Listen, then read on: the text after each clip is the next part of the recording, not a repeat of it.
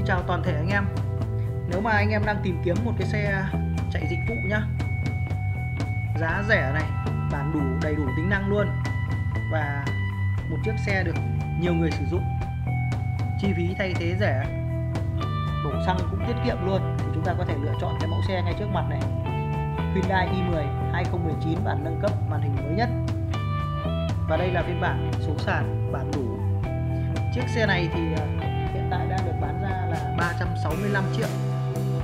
Chưa trừ khuyến mại nha nếu mà anh em muốn à, tham khảo khuyến mại cụ thể tùy từng thời điểm thì xin vui lòng liên hệ với một trong hai số hotline bên dưới.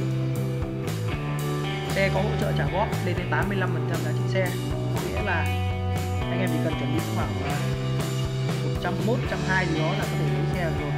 Mỗi tháng trả góp trung bình khoảng 5 6 triệu.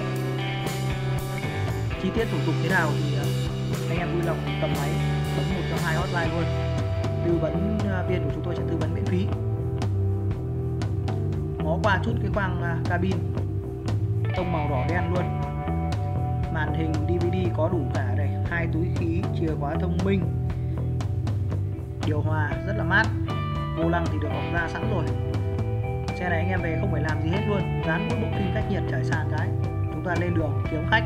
Hàng tháng thu nhập trung bình khoảng 30 triệu lái taxi ở tỉnh thì có thể ờ, thu nhập không tới, tuy nhiên ở Hà Nội tôi khẳng định luôn con số đó, anh em taxi truyền thống, thậm chí là taxi ờ, công nghệ, ví dụ như là Grab, anh em vẫn kiếm đều tay lắm. Ngó qua chút cái ờ, khoang hành khách, ghế rất là rộng các bạn nhé năm người lớn, thoải mái. Ghế này là ghế da lòng nghỉ luôn rồi.